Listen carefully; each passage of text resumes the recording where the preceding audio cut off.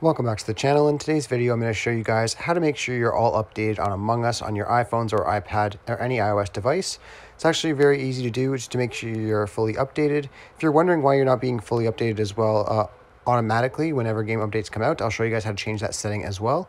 Uh, but if you just want to go over to your App Store and you just search for Among Us on the App Store, and then right beside it, it'll tell you if you need an update right away. Right where it says open, it'll say update.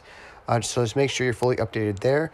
Now, for the future, if you want to continuously get the automatic updates, so you don't have to worry about coming back and checking, uh, you just want to go over to your settings.